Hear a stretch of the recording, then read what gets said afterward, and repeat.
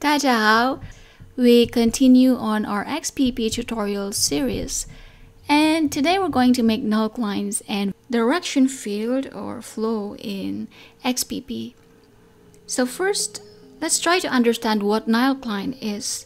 Nullclines are curves where the right-hand sides of our system of equations vanish.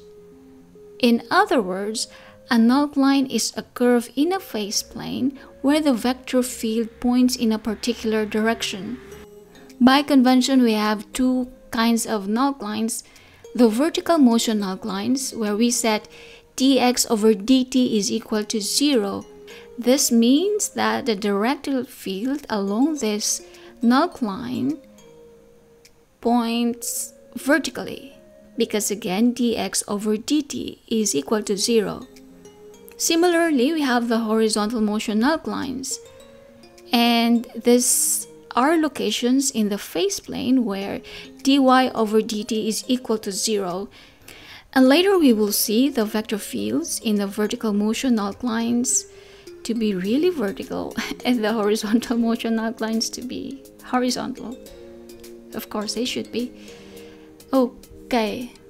So this is our example. We consider the genetic control of protein synthesis by mRNA. So we have here in two dimensions and our parameters are A and B. I have already made an ODE file for this one and the first line is just a comment. Then we set some parameters A is equal to 0.8 and B is equal to 0.5 so these are just the numbers I chose because I like how the graph looks with these parameters. And then I copy the equations like so, and then finish it with a done line.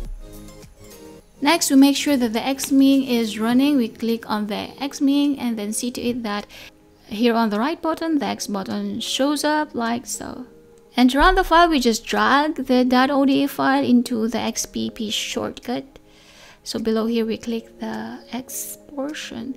And again, we don't see right away the graph, but that is okay. Um, so this is an x versus time window. And I don't we don't want that window because we want a phase plane. And we can change this window by going to the view axis button here.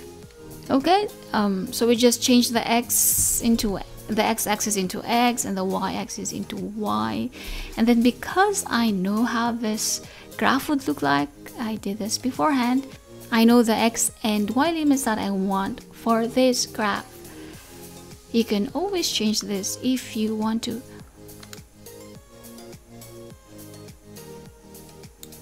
Okay so this is our nullcline.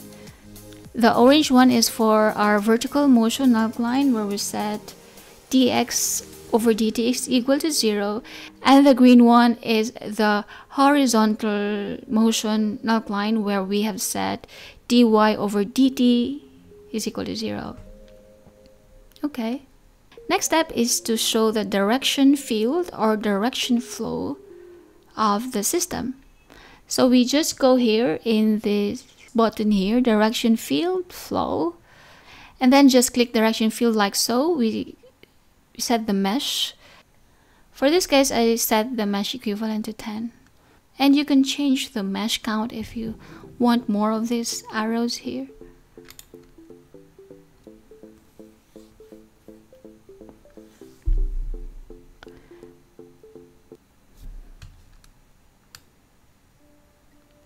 Another option also is to look into the flow like the complete curve flow without the direction.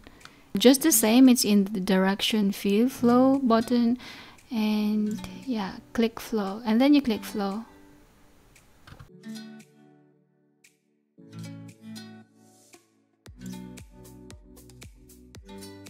And that ends our tutorial for today. See you on the next video on this series.